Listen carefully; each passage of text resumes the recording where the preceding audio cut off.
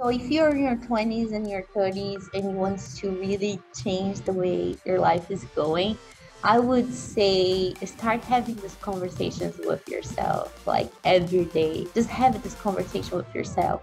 How can I improve my daily nutrition? Instead of focusing so much like in losing the weight fast and thinking about everything that's not right, just start thinking about having this little conversation with you. How can I increase my activity levels every day?